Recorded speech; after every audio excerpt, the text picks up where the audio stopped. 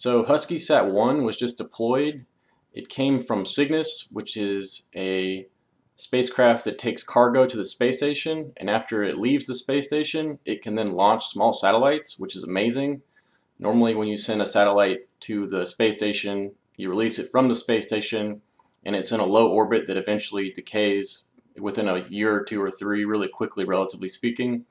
But because the uh, Cygnus vehicle can leave the space station and then launch from itself, it can launch into a higher orbit. And so hopefully this satellite will be able to stay in orbit for a whole lot longer than it would normally be had it gone to the space station and not through Cygnus. So it is a linear transponder. It has a VHF uplink and a UHF downlink.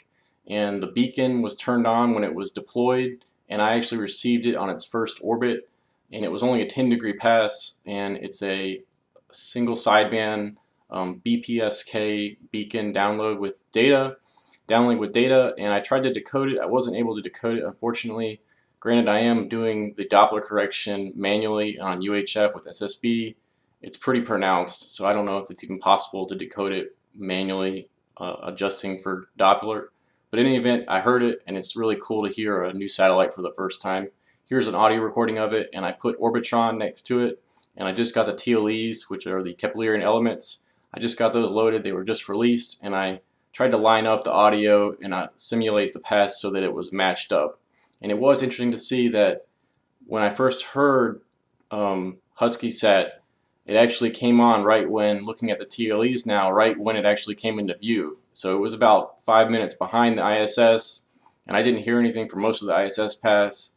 And then all of a sudden I started hearing the signal, and I was like, oh, well, the ISS is gone.